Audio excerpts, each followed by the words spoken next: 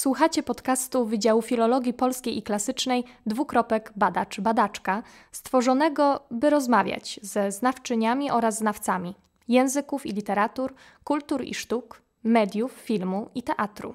Zapraszamy do rozmów w zakątkach Kolegium Majus przy Fredry 10 w Poznaniu i do tego, by poznać się lepiej, nie tylko od akademickiej strony.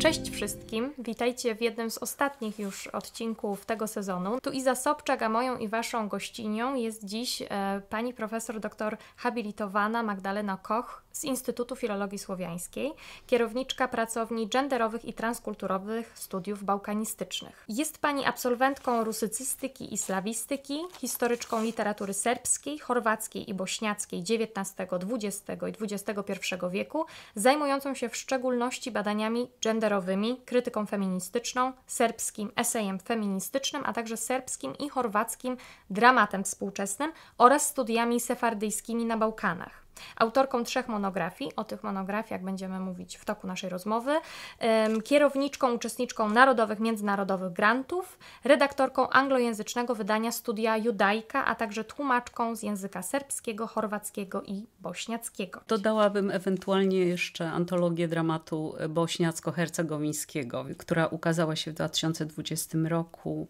pod tytułem Obudź mnie, gdy to się skończy. Także jeszcze poszerzyłam spektrum o badanie dramatu bośniacko hercegowińskiego, a jednocześnie mam w planie jeszcze z koleżanką, teraz koleżanką, dawniejszą moją doktorantką, panią doktor Gabrielą Abrasowicz, przygotowanie, już mamy projekt y, y, antologii dramatu czarnogórskiego w tłumaczeniu, żeby te kraje i te kultury były w, y, po polsku dostępne i reprezentowane. Bardzo dziękuję i teraz może taka prośba do Pani Profesor o przeczytanie fragmentu e, listu e, pisarki modernistycznej serbskiej Isidory Sekulić, e, fragmentu listu do Milana Ciucina, ja zaraz za panią przeczytam przekład y, tego, y, tego fragmentu na język polski, który jest przekładem też pani profesor autorstwa.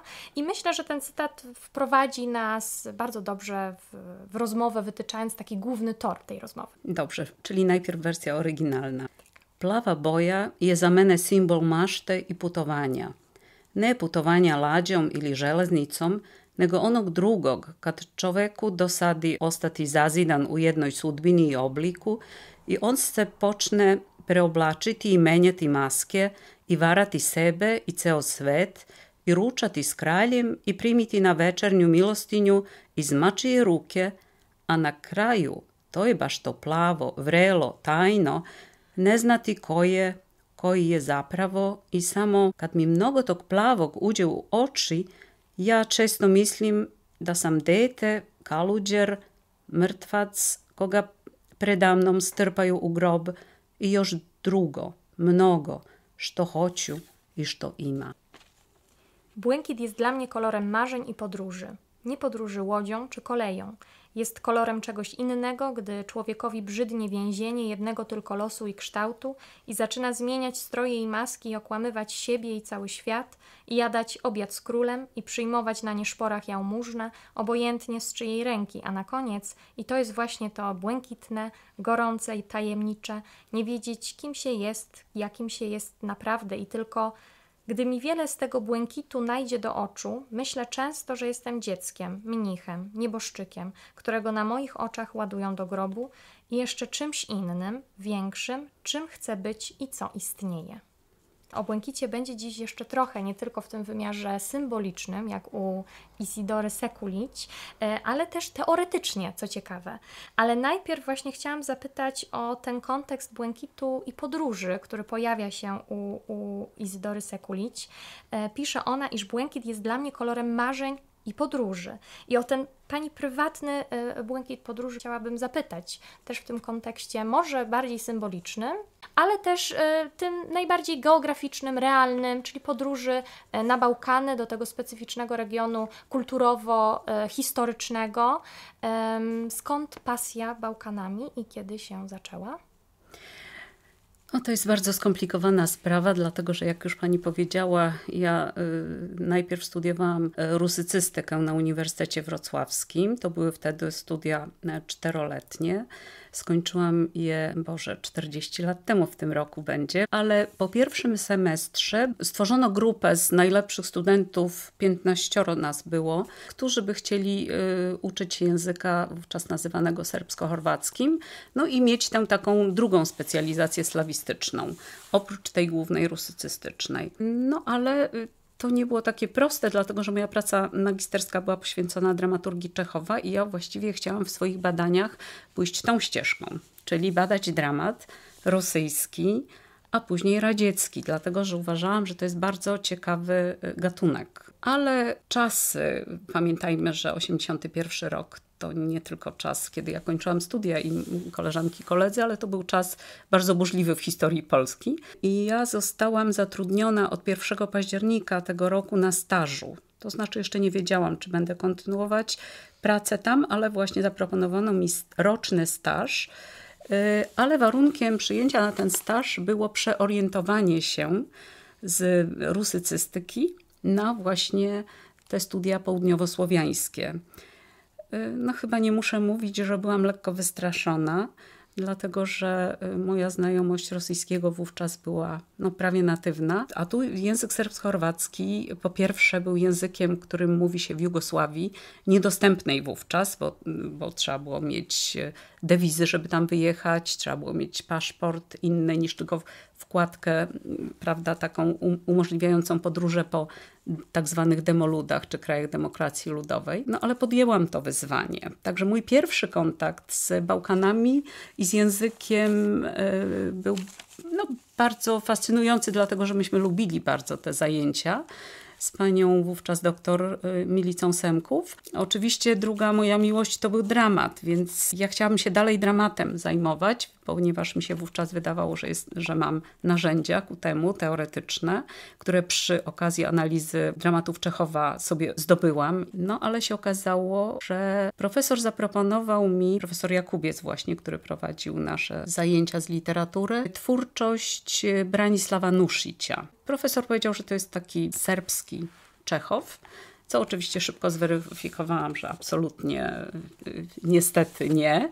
Y, no ale podjęłam wyzwanie i w momencie, kiedy po trzech, trzech latach czy czterech nawet badań nad y, najpierw czytaniem kilkunastu tomów komedii, dramatów Branisława Nuszicia, wypracowałam sobie pewne narzędzia, które wydawało mi się, że pasują, czyli narzędzia stosowane w komedii dell'arte, czyli maski, pewne schematy w komunikowaniu się, ponieważ ta tradycja dramatu w literaturze serbskiej nie była aż tak bogata wówczas y, przed Nusziciem. No i z dużą dozą zdumienia na targach książki w 1985 roku odkryłam, że istnieje już taka książka, ponieważ przyjechały wydawnictwa z ówczesnej Jugosławii i zobaczyłam, że książka istnieje pod tytułem Nuszyć się w smiech. Pamiętajmy, że to nie były czasy internetu, nie można było sprawdzić, trzeba było wyjechać właśnie, jeśli chodzi o podróże. No ale po powrocie do Wrocławia z Warszawy, z tych majowych targów książki, które notabene do dziś się odbywają, tylko już w innej formule, przekazałam tę informację profesorowi i on mówi, no to najwyżej zmieni pani temat. Musiałam zmienić temat, tylko tym razem, bo jeszcze nie powiedziałam, że wszystkie dzieła zebrane Branisława Nuszcia były tylko w Warszawie i tylko w Bibliotece Słowianoznawstwa Pan. Dwa miesiące siedziałam w bibliotece, czytałam. Nie było wtedy ani skanów, ani ksero, więc to była dosyć taka y, trudna droga która jednak y, skutkowała w sposób pozytywny tym, że jednak y, siedziałam na miejscu, musiałam te ten czas poświęcić na lekturę, zyskałam o wiele lepszą orientację w literaturze i w języku. Jednak wybierając nowy temat, już byłam bardziej zorientowana w tych literaturach. Poszłam do wrocławskiego Osolineum i zobaczyłam, czyje dzieła zebrane są w Osolineum. Isidora Sekulić była jedną e, z, czy, czy jednym z autorów Zawsze oprócz dramatu e, w czasie studiów rusycystycznych też interesowały mnie pisarki, prawda? No takie ikony to była Achmatowa i Cwietajewa. No i postanowiłam, że tutaj właśnie wybiorę Isidorę Sekulić. Już miałam większą orientację, widziałam, że został opracowany jej esej, dwie książki e, pod tytułem Esej Isidore Sekulicz, czy prace krytyczne Isidory Sekulicz, że, że są już opracowane, więc tutaj już wystrzegałam się tych, tych terenów. Ja do nich potem wróciłam ostatnio w książce Mistrzynie Myślenia, bo sięgnęłam do tej y, części jej eseistyki, która w ogóle przez nikogo nie została zauważona ani opracowana, czyli do eseju, który nazwałam feministycznym, o tematyce feministycznej. Natomiast z mojego już wówczas rozeznania y, wiedziałam, że jej proza wzbudza mniejsze zainteresowanie, że uznawano jej prozę za efekt uboczny jej eseistycznej pracowni, bo ona rzeczywiście esejów napisała więcej, natomiast y, prozy mniej. Zaczęłam te dzieła czytać, y, zwłaszcza z okresu modernizmu właśnie. Y, to był, jej debiutem byli Współwędrowcy w 1913 roku, o których piszę w tej książce Podróże w czasie i przestrzeni, proza Isidory Sekulić. Później wiedziałam, że, i to mnie dziwiło, że się udała w 1913-14 roku i spędziła wiele miesięcy w Norwegii ten błękit i podróż y, w wykonaniu y, Isidory y, Sekulić miał zupełnie inny wektor, czyli z Bałkanów na północ Europy. I ona pisze w tych listach z Norwegii, że jest bardziej zafascynowana krajami, gdzie mm, ascetyczny tryb życia, jest wymagany i człowiek musi sam z sobą się zmierzyć i z problemami intelektualnymi. Ona tam zaczyna y, te listy z Norwegii pytaniami retorycznymi. Y, zapytasz mnie, dlaczego ze słonecznych Bałkanów, gdzie słońce operuje i daje życie wszystkie, wszystkim i że wszyscy pędzą na południe, y, dlaczego jadę na północ, gdzie człowiek musi gołymi rękami ziemi wydzierać kawałek gleby, żeby mieć chleb. Spodobało mi się jej taki upór e, w zdobywaniu rzeczy niemożliwych fascynacja właśnie podróżami, ponieważ no ja wówczas jeszcze, czy my wszyscy mieliśmy bardzo ograniczoną w latach 80. możliwość podróżowania i wszyscy marzyliśmy o podróżach. Nawet ta Jugosławia była e, nieosiągalna. Uległam czarowi jej wyobraźni, właśnie temu błękitowi, o którym ona e, pisze w jednym z listów. Natomiast ja po tych latach obcowania z Isidorą Sekulić marzyłam właśnie w takich e, sferach może błękitu i wyobraźni i fantazjowania o moich podróżach do Jugosławii, która się jeszcze wówczas trzymała, prawda? Chociaż już wszystkie znaki w polityce y, wskazywały i też w kulturze że nastąpi rozpad, coś co całą, całą Europę zaskoczyło. Bardzo dziękuję za to rozrysowanie początków z literaturą serbską i właśnie z Izidorą e, Sekulić, na której teraz chciałabym się skupić, bo wspomniała Pani o tym błękicie, zimnym błękicie norweskim i to się pięknie łączy właśnie chyba z tym jej namysłem teoretycznym też, z, z, czyli z izochimenami, e, o których teraz chciałabym może chwilę porozmawiać, czyli z takimi, no właśnie, to już nam Pani Profesor wyjaśni, czym są dokładnie Mówi o nich Sekulić, że są to niebieskie linie ukrytej grafiki życia literackiego.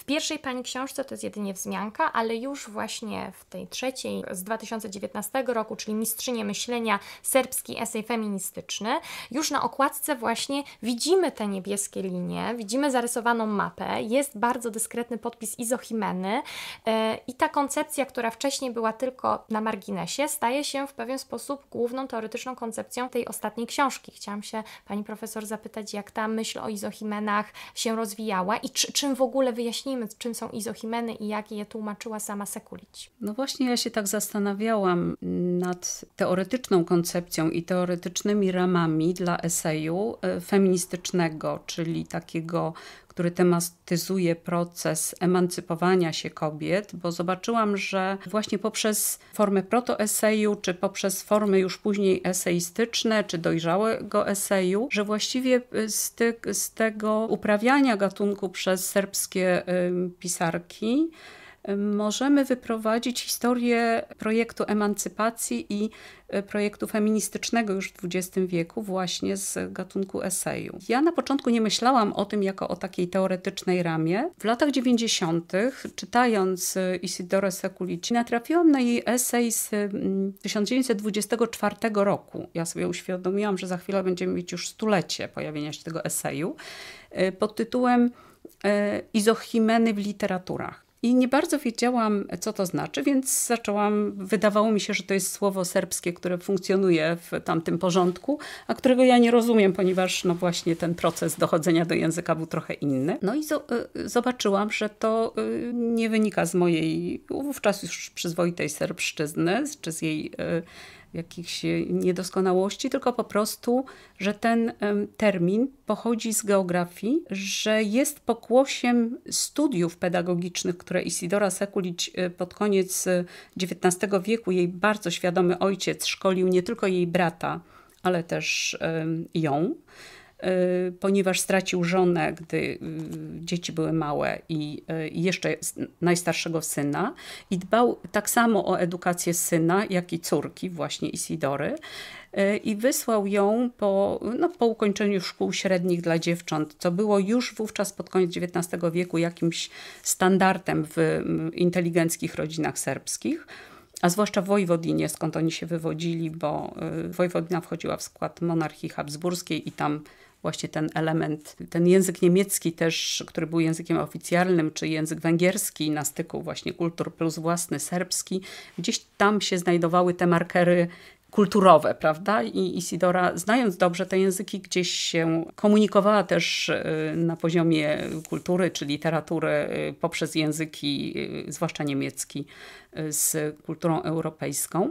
Ojciec ją wysłał na studia pedagogiczne do Budapesztu. I tam e, w tej szkole pedagogicznej skończyła trzyletnie studia, teraz pewnie byśmy to określili, że na poziomie licencjatu, e, z matematyki i geografii nauk ścisłych. Odkryłam, że właśnie to e, zgłębianie geografii czy nauk ścisłych też gdzieś w sposób bardzo kreatywny zafunkcjonowało w jej myśleniu o literaturze już wiele lat później. Ona skończyła tę szkołę w 1900 roku i bardzo dobrze, dlatego że w tym roku również straciła i młodszego brata, tam gruźlica była chorobą rodzinną i ojca. I właściwie to wykształcenie nauczycielskie pozwoliło jej utrzymać się z pracy własnych rąk. Była nauczycielką, chyba nie, nie przepadała za tą pracą, zresztą są jakieś ślady, że też nie była ulubioną, bo zbyt wymagającą była nauczycielką intelektualnie.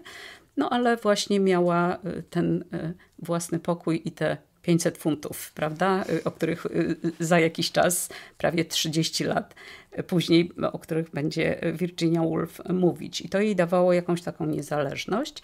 Mm, I y, właśnie ten termin izochimena jest terminem greckiego pochodzenia. Izos, ten sam jednakowy, a heimon zima, czyli to są te linie na mapie wyznaczone, które łączą punkty o tej samej temperaturze w zimie.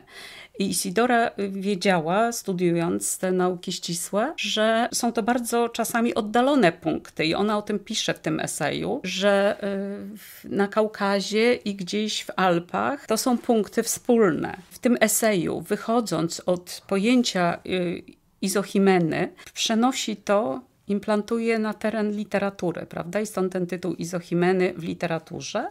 I właśnie pisze w jednym z właśnie w jednym z, z fragmentów tego eseju, y, tu może zacytuję, bo będzie prościej. Wszyscy znamy te nieco tajemnicze niebieskie linie, które w przedziwny sposób przecinają bruzdami już gotową mapę geograficzną. Jedne z nich to izochimeny, czyli linie, które na jednej mapie łączą wszystkie punkty o jednakowej średniej temperaturze w zimie. Nas tu rzecz jasna, pisze dalej Sekulicz, nie interesuje geograficzne znaczenie tych linii, lecz symboliczne. I to właśnie przeniesienie na terminu naukowego z nauk ścisłych na teren literatury w 24 roku wydaje mi się, że świadczy o takiej dużej świadomości Isidory Sekulić, nawet teoretycznej, czy filozoficznej, czy takim eseistycznym myśleniu o problemach. I ona pisze dalej, Kto przez szereg długich lat obserwuje mapę codziennych literackich kontynentów, rzek, prądów, wysp i wysepek, ten w sieci i krzyżowaniu się dekad, narodów, szkół, grup i jednostek z pewnością dostrzeże niebieskie linie ukrytej grafiki życia literackiego i dojrzy dyskretne, lecz rygorystyczne powiązania wszystkiego, co pokrewne i zależne. Ja byłam pod dużym wrażeniem tego, tego eseju, chociaż on mi w momencie pisania mojego doktoratu nie był tak bardzo potrzebny, jedynie jako właśnie symbolika mapy i podróży. I zastanowiłam się i wiele do, razy do tego wracałam, dlaczego ten esej nie jest, zwłaszcza w jej rodzimej serbskiej kulturze, wykorzystany, nie jest rozpracowany i nie jest rewitalizowany i nie jest używany właśnie w obrębie teorii literatury jako taki własny wkład myśli myśli teoretycznej. I usiłowałam najpierw za, zainteresować tam y, koleżankę i kolegów, ale oni jakoś mniej skłonni byli doceniać tę Isidorę. Wpisywali ją raczej w taki schemat kobiety, która usiłowała być bar bardzo męska w swoim pisarstwie. Ja się z tym akurat nie zgadzam, bo intelektualne y, bytowanie w literaturze nie oznacza dla mnie męskości, wręcz doceniłam jej intelektualizm i właśnie kobiecość y, wyrażania. Y, I stwierdziłam, że właściwie ten, ten trop Izochimeny no i powiedziano mi chyba właśnie w 18 roku w projekcie brałam udział że najlepiej zrób to sama. No i postanowiłam wziąć e, tekst Isidory w swoje ręce i wyprowadzić z tego e, pewną teorię.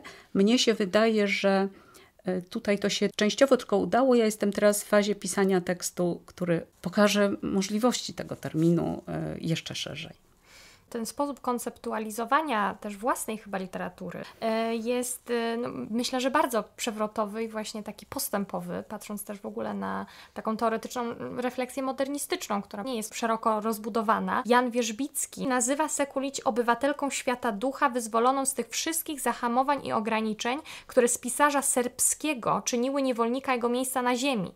Od niej zaczyna się w Serbii literatura bez prowincjonalnych kompleksów wobec Europy. I tutaj właśnie do literatury serbskiej jako w pewien sposób marginalnej jednak wobec tego, powiedzmy, hegemona Zachodu, chciałabym nawiązać i też w, w obrębie tego, jak plasuje się właśnie literatura kobieca. Bo wydawałoby się, że literatura kobieca byłaby zatem taka podwójnie marginalizowana, skoro jest i kobieca, i serbska, ale z drugiej strony myślimy o Sekulić jako o kobiecie niezwykle wywrotowej i nagle okazuje się, że ten margines chyba trzeba by było przeformułować. Jakby, że on nie powinien być zdefiniowany jako negatywny, ale wręcz jako pozytywny, który tutaj, w tym wydaniu Sekulić, tworzy i, i, i zmienia kanon narodowy właśnie serbski w pewien sposób. Czy, to, czy mhm. błędnie o tym myślę? Nie, bardzo dziękuję właśnie za ten trop y, myślenia i za zacytowanie y, profesora Jana Wierzbickiego, który w latach 90., gdy zmagałam się z twórczością y, Isidory Sekulić, on wydał taką książkę Pożegnanie z Jugosławią. I w tej książce był esej Mądra pani Isidora. Mnie ten tytuł zdziwił i urzekł jednocześnie, dlatego że wiedziałam, że profesor Wierzywicki jest, był dla mnie jako młodej adeptki no, dużym autorytetem slawistycznym, też właśnie od y, kwestii południowosłowiańskich, a jednocześnie takie spoufalenie się z pisarką, więc nie wiedziałam, co o tym myśleć. Takie nienaukowe właściwie podejście, mądra pani Isidora, ani kategoria mądrości, przynajmniej moi mistrzowie mi nie sprzedawali, że na tym można jakąś teorię budować, ani spoufalanie się, że po imieniu się jest z autorką. Przeczytałam ten e, tekst. Wkrótce się dowiedziałam, jak zaczęłam tam bywać, że jednak tradycja literaturoznawstwa serbskiego i w ogóle literatury serbskiej jest taka, że oni się spoufalają czy e, fraternizują z, ze swoimi wielkimi. W niektórych przypadkach, ja właśnie jeszcze nie odkryłam, jak ten mechanizm działa, jak się mówi wóg, to nie trzeba dodawać Stefanowicz Karadzic, tylko wiadomo o którego wóka chodzi. Jak się mówi Branko, co jest imieniem, skrótem od imienia Branisław, to wiadomo, że chodzi o romantycznego poetę Branka Radiczewicza. I jak się mówi Isidora, no to też wiadomo o kogo chodzi. Ale profesor Wierzbicki właśnie ja nawet do niego pojechałam do Warszawy i właśnie te słowa, które pani zacytowała, były dla mnie jakimś takim drogowskazem. Zwłaszcza, że tu wcześniej zdanie jest prowincjuszka z urodzenia i upodobania. Była zarazem pierwszą wielką Europejką literatury serbskiej. Więc ja się zastanawiałam i cały czas się zastanawiam, jak można być prowincjuszką, no że z urodzenia to wiadomo, ale że z upodobania, czyli tę swoją lokalność się pielęgnuje. W Serbii jest takie słowo zawiczaj, no mała ojczyzna, my to dwoma słowami obsługujemy. Niemcy mają Heimat, prawda? E, ten Zawiczaj właśnie to jest ta mała ojczyzna, tam gdzie się urodziłam, dla niej to była Wojwodina, a Serbia dopiero w tym szerszym e, kręgu, ale kultura serbska z Wojwodiny już właśnie jej była tym kręgiem. Jak można to pielęgnować, a jednocześnie będąc e, na takich często stygmatyzowanych Bałkanach, prawda, jako jakieś dzikie rejony, mniej ucywilizowane, no tak w tym postkolonialnym czy kolonialnym dyskursie one się prezentują. Jak można było być Europejką i bez kompleksów i wychodzić. I zobaczyłam, że dla niej kluczem jest edukacja, absolutny poliglotyzm. Ja już tu wspominałam o jej znajomości niemieckiego i e, węgierskiego no, z przymusu, tak, bo się urodziła w strukturach monarchii Austro-Węgier. Potem jeszcze y, nauczyła się języka angielskiego, francuskiego. Usiłowała się uczyć języka polskiego. Tak, widzę zdumienie w pani oczach, a to dlatego, że w tej Norwegii E, wyszła za mąż za polskiego doktora Emila Stremnickiego. Wielu jej przyjaciół, chcąc chyba zdyskredytować e, i, i ją w jakiś sposób jako taką figurę, mocną figurę kobiecą, intelektualistkę, uważało, że to jest jakaś mistyfikacja. E, do tej pory właściwie wiele osób tak uważa, że ona chciała um, w tej bardzo mocno jednak kulturze patriarchalnej uniknąć przy pomocy tej strategii Y, stygmatu staropanieństwa, więc właśnie stąd uczyła się też trochę języka polskiego. Nawet jest jej taki esej o polskiej duszy mysliti drago, czyli przyjemnie jest myśleć o polskiej duszy, gdzie słowackiego wymienia, więc widać, że ona naprawdę przy pomocy języków, które znała, a to było pięć, jeszcze włoski znała dobrze, po prostu miała kontakt bez kompleksów, bez konieczności czekania na przekłady z najlepszymi osiągnięciami literatur europejskich, ale też i amerykańskiej, i pisała o nich. Więc wiemy, że miała naprawdę ogromną erudycję i że przeorientowała w swoim praktykowaniu e, kultury, nauki, lektur, tę kwestię, którą my nazywamy centrum peryferię, prawda?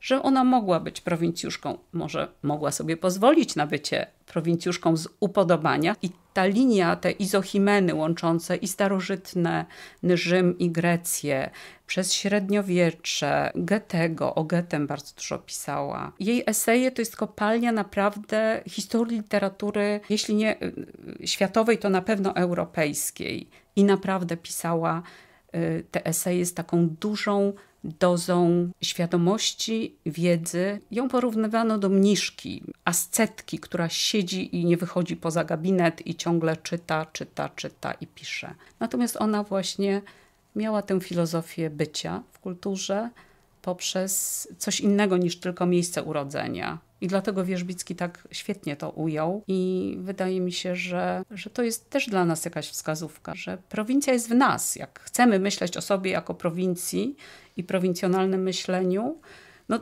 dla mnie Isidora Sekulić była taką, taką figurą, która mi pokazała, że można się urodzić tam, gdzie się człowiek urodził, ale jednak można zyskać. Oczywiście w książce Mistrzynie Myślenia jedna z eseistek pisze, o, pisząc o niej jako ważnej figurze, o jej eseistyce, y, podsumowuje to jakoś no, gdyby się urodziła w którejś z większych kultur, w języku i, albo operowała językiem o większej em, sile emisyjnej, to pewnie była, miałaby pozycję absolutnie inną i byłaby znana w Europie. Natomiast ta bariera języka i kultury no, tutaj zadziałała i jej dzieła nie są, nie są tłumaczone. Natomiast ona sama pisała o sobie y, pod koniec życia taką autorefleksją, no może niektórym się wydać przesadną, ale tym, którzy znają jej twórczość, to chyba nie brzmi przesadnie. Pisałam eseje znacznie wcześniej niż Virginia Woolf, ale nikt jakoś tego nie zauważał.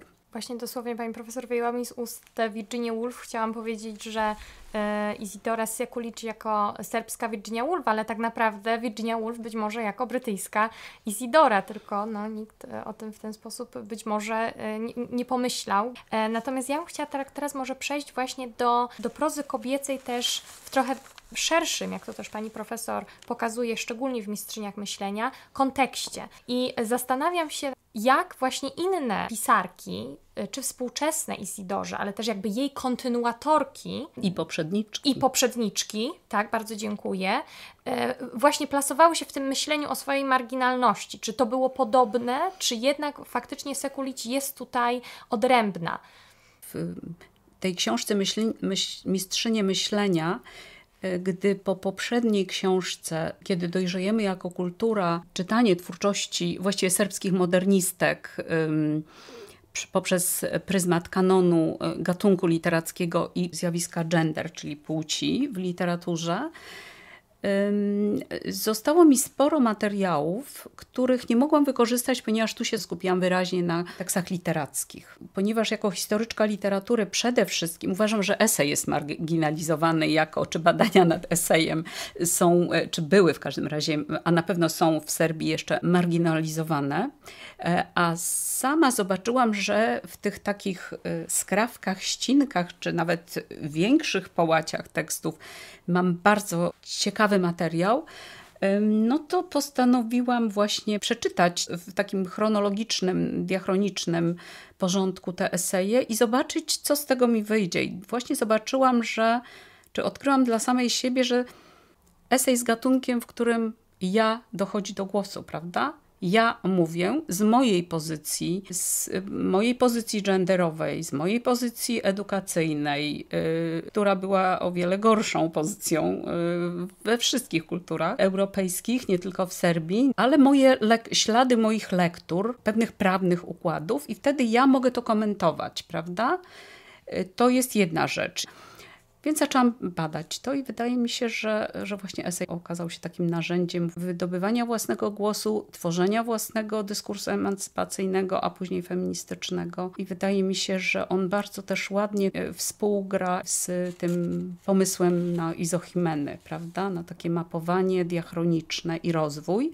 I okazało się, że już na początku XIX wieku, właśnie wspominam Eustachię Arsic jako no, jedną z poprzedniczek, e, która jeszcze nie uprawiała prawda, tej formy, ale już walczyła o język i tam pokazuje ten proces e, tworzenia feminatywów na początku XIX wieku, no bo Eustachia Arsic była w ogóle pierwszą pisarką, pisarką, która drukowała książki, nie wiedząc jaka jest tradycja, bo nie było tradycji, tworząc zręby, podpisała się soczynitelnica, czyli twórczyni. Użyła takiej feminatywnej formy do autoprezentacji i w swoich tych utworach, które odczytuję jako takie jeszcze protofeministyczne, czy z takimi protofeministycznymi wątkami emancypacyjnymi, zwraca się na zasadzie takiej, powiedziałabym, równościowej. Drodzy moi czytelnicy i czytelniczki, drogie moje siostry, więc z tego jakoś wyprowadzam pomysł na ideę siostrzeństwa i ta linia w XIX wieku, ona u czterech autorek gdzieś bardzo wyraźnie, być może jest ich też więcej, ale ja chciałam nakreślić w tej książce głównie tendencje. I Isidora Stekulić jako erudytka miała świadomość, zwłaszcza, że tej później równoległa z nią Jelica Belowicz-Bernadzikowska, która no też taką rolę odegrała, bo po raz pierwszy właśnie w tym 1913 roku, teraz tak sobie uświadamiam, że to był bardzo ważny rok, w Sarajewie wydała y, czasopismo czy almanach Syrbkinia, Serbka, jej życie, jej twórczość, jej rozwój duchowy od początku do dziś, czyli do roku no pewnie 1912-13. Także ta tradycja przed Isidorą była, ale ona na pewno jest takim punktem najjaśniejszym. Pod jej piórem nie istniały te kompleksy wobec Zachodu. To gdzieś była no, rzeczywiście może najmniej taka narodowa. Właśnie o tę narodowość jeszcze teraz chciałam zapytać. Czy pani profesor właśnie widzi y, literaturę kobiecą serbską jako też tworzącą odrębny kanon? Bo tak chyba jest trochę w, w, na polskim gruncie feministycznym, jak pokazują i profesor Kraskowska, i profesor Kaniewska, że, że mamy taki odrębny kanon literatury kobiecej, który właśnie jakby plasuje się wobec, no, wobec czego? Wobec pewnie tego kanonu narodowego. Zastanawiam się, czy to tak samo działa w literaturze serbskiej. Czy mamy jakby odrębną trochę literaturę kobiecą, która tworzy swoją mapę izochimen? Jeśli tak, to czy ta literatura e, i ten kanon, on właśnie biegnie wobec czego? Jeśli chodzi o serbski kanon literacki, to on myślę jest tworzony tak jak w innych literaturach e, czy to będzie polska, czy, czy inne literatury, na podstawie pewnych kryteriów, które są przykładane do literatury tak zwanej uniwersalnej. Tym uniwersalizmem zawsze się opatruje y, twórczość y, pisarzy. Y, kobiety bardzo rzadko są wpuszczane do kanonu, ale akurat przypadek Isidory Sekulić, o której tutaj mówimy dużo, ona została włączona do kanonu, ale została włączona do kanonu na takich właśnie prawach uniwersalnych. Została przeczytana jej eseistyka czy jej e, twórczość prozatorska w taki sposób, myślę, że gdzieś zubażający jej intencje.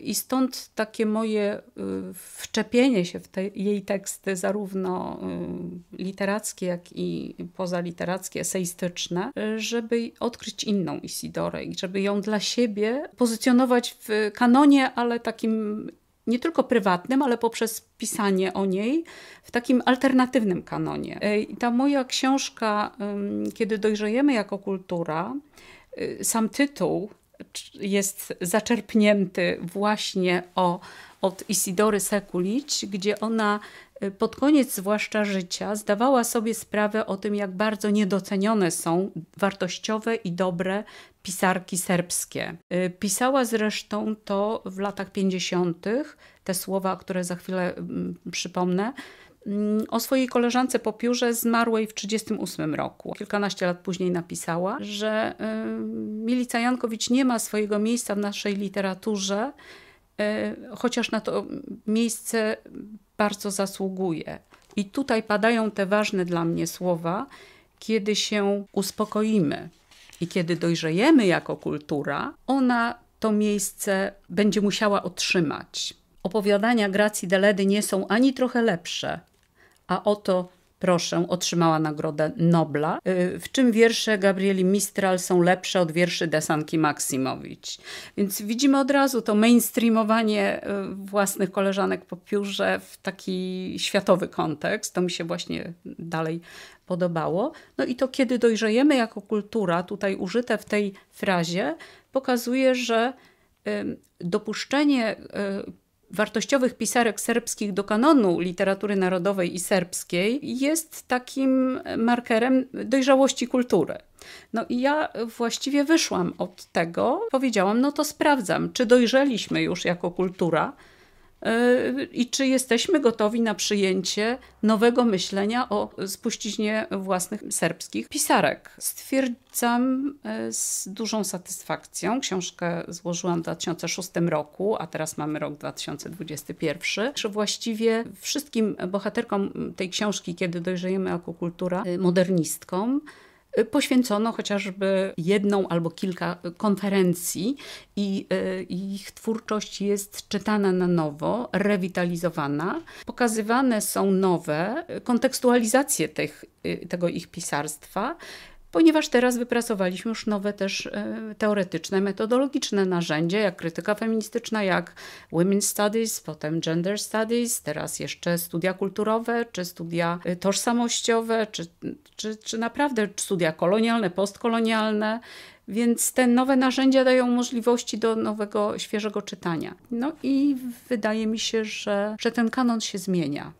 E, już krótko odpowiadając, ale zmienia się też dlatego, że sporo badań właśnie zostało mm, wykonanych przez Serbki. No, ja tutaj też mam jakiś swój skromny udział, ale też przez zmianę narzędzia i rozwój technologii. Te projekty, w których międzynarodowe, w których uczestniczyłam, pierwszym był dla mnie takim eye-openerem, takim otwarciem oczu na możliwości humanistyki cyfrowej, a to był projekt 2009-2013, więc dosyć odległy. U nas jeszcze to nie było rozpowszechnione. Właśnie ten poświęcony Europejkom. I myśmy tworzyły online w open access bazę danych i y, każda z y, reprezentantek swojej literatury, czy swojej literatury tak zwanej narodowej, wpisywała dane o tych pisarkach. Y, też linki często dawałyśmy do ich utworów, jeśli one były już wtedy zdigitalizowane. Później per analogiam zrobiłyśmy, znaczy moje serbskie koleżanki zrobiły taki projekt też cyfrowy dotyczący projekt kniżeństwo, czyli to jest ładna kombinacja, taki neologizm kniżewność, czyli literatura i rzęstwo, czyli kobiecość. I kniżęstwo daje kontaminację tego pojęcia, która ładnie teraz e, działa. I myśmy zaczęły się tylko Serbkami e, zajmować. I to jest bardzo duża baza danych. I ja sama zauważyłam, że ja musiałam zmienić swoją narrację dydaktyczną, mówiąc studentom w Poznaniu, czy wcześniej jeszcze we Wrocławiu, gdzie uczyłam, o literaturze serbskiej. I musiałam się pozbyć słowa marginalizacja, bo y, studenci mi sami zwrócili uwagę, ale dlaczego nam pani mówi o marginalizacji, jak my googlujemy i nam pierwsze, co wyskakuje, to są nazwiska tych pisarek, o których pani mówi, że są marginalizowane, a ci klasycy literatury bardzo często jeszcze nie są. I ja stwierdziłam, że to jest świetne narzędzie zaburzające hierarchię, jaką nam daje kanon literacki, prawda? Bo tutaj sobie po nazwiskach nie mamy ustawienia, kto mądrzejszy, kto ważniejszy, kto, kogo my tam jakoś schierarchizowaliśmy, uplasowaliśmy, tylko każdy sobie buduje i lepi ten kanon. Stworzyłyśmy też y, pod tym samym tytułem projekt i czasopismo online, też jest kniżeństwo. Zachęcam też y, polonistki do y, i polonistów do publikowania tam w języku angielskim właśnie te sprawy dotyczące y, przemian świadomości na temat literatury kobiecej. I stwierdziłam, że ten kanon teraz y, taki podręcznikowy, on już trochę traci na swojej y, mocy i, i magii i, i wartości. Także to jest takie narzędzie też usieciewienia w, innym, w inny sposób, więc to jest bardzo ważne.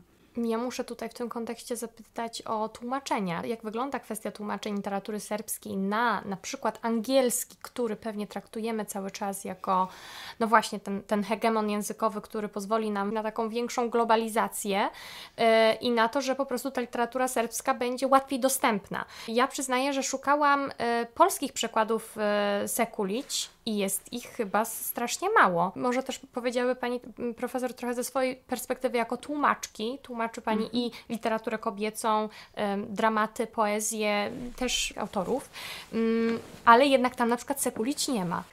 Ja bym ją chętnie przełożyła, tylko trzeba jeszcze znaleźć wydawcę zainteresowanego. Dlatego też ja tak się uczepiłam e, tej praktyki tłumaczenia nawet w książkach naukowych każdego fragmentu każdej pisarki, y, którą się zajmuję, włączając to Isidore Sekulić i inne moje bohaterki, y, na język polski, ponieważ wiem, jak bardzo trudno jest przekonać wydawców na tym rynku skomercjalizowanym, a kto to będzie czytał, mam pytanie, a kto to, a jak to się sprzeda i w ogóle, że to jest już anachroniczne, bo to jest jakaś sprzed 100 lat pisarka.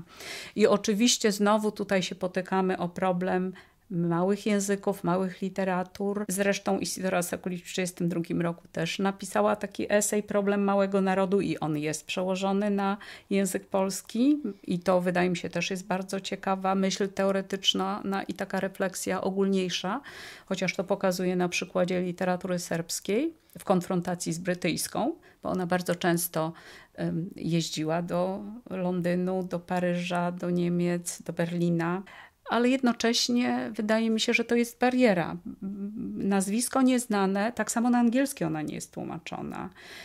Może jakieś pojedyncze jej teksty, może powinnam jeszcze bardziej intensywnie akurat ją czy inne pisarki, te właśnie z okresu modernizmu czy okresu międzywojennego, starać się wypromować, ale jak mówię, stykam się z, powiedziałabym, oporem, bezdusznością, brakiem rozeznania. Dalej w jakiś sposób mamy ten rynek również tłumaczeniowy skolonizowany przez duże języki, tak? Jak ja proponuję coś, to pierwsze pytanie jest, a czy to jest przełożone na angielski? Jeżeli nie jest, to to jest probierz, że nie zawsze warto. Y, oczywiście ta literatura serbska, chorwacka, bośniacka była tłumaczona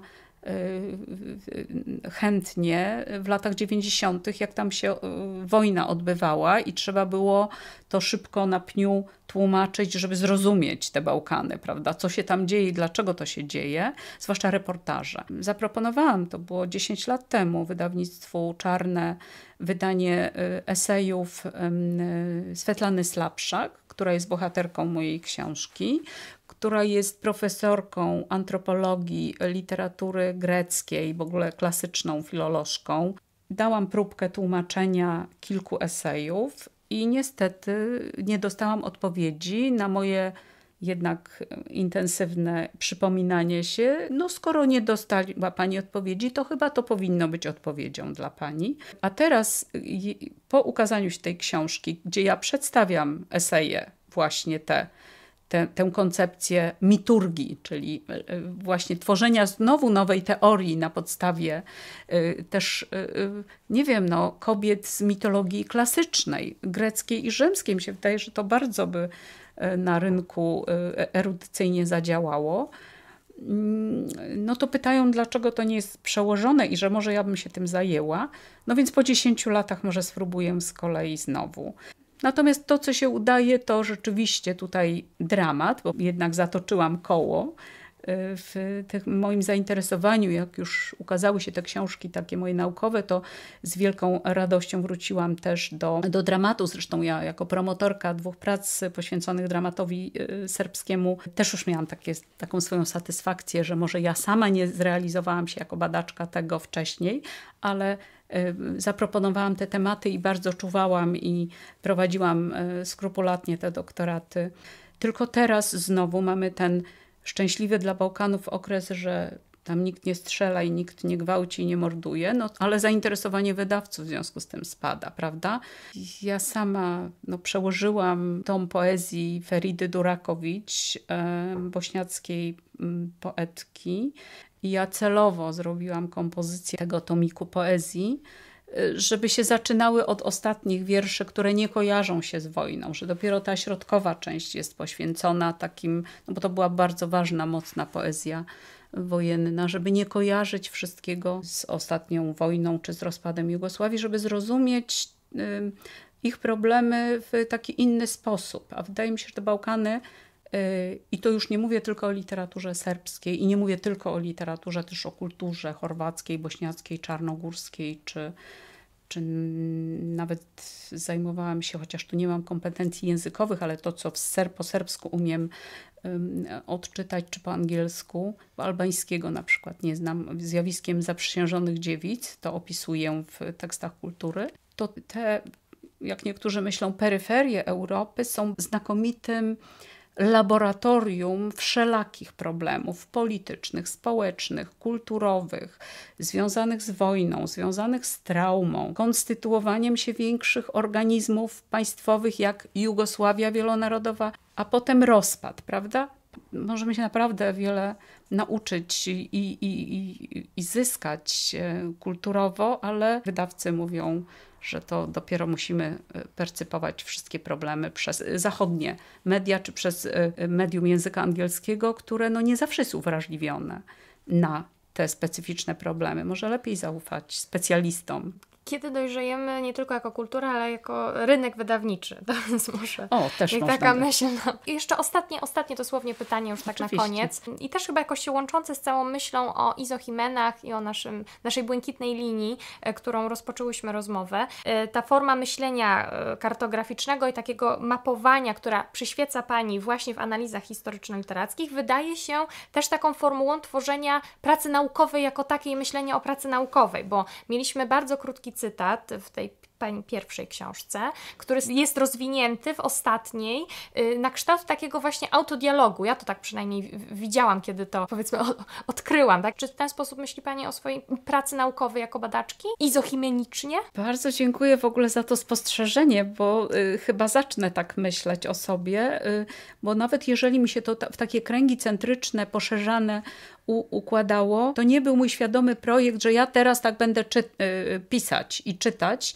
i poszerzać kręgi, tylko zawsze zwracałam się na bazie tego, co już zrobiłam, do jakichś nowych problemów, które wydawało mi się są jeszcze ważne, a których nie udało mi się mi się ująć w mm, poprzednich y, książkach czy pewnych artykułach, ale właśnie bardzo dziękuję, bo to izochimeniczne pisanie i myślenie, czy podchodzenie do tematu, takie łączenie różnych punktów, wydaje się teraz takie przekonujące, że zaczęłam w pierwszej książce przywoły, przywołania y, tej koncepcji izochimen i Storysakulić, a w ostatniej to mi już posłużyło jako pewne teoretyczne ramy, czy pewna myśl y, właśnie mapowania, kartografowania i łączenia punktów w, zarówno właśnie w czasie, eseistki z XIX wieku y, jakoś mają i nawet mi się tak udało, chociaż to naprawdę jest czysty przypadek, że pierwsza pisarka i eseistka, czy protoeseistka y, miała to samo nazwisko, co ostatnia, o której piszę, prawda? Y, Eustachia Arsić i Branka Arsić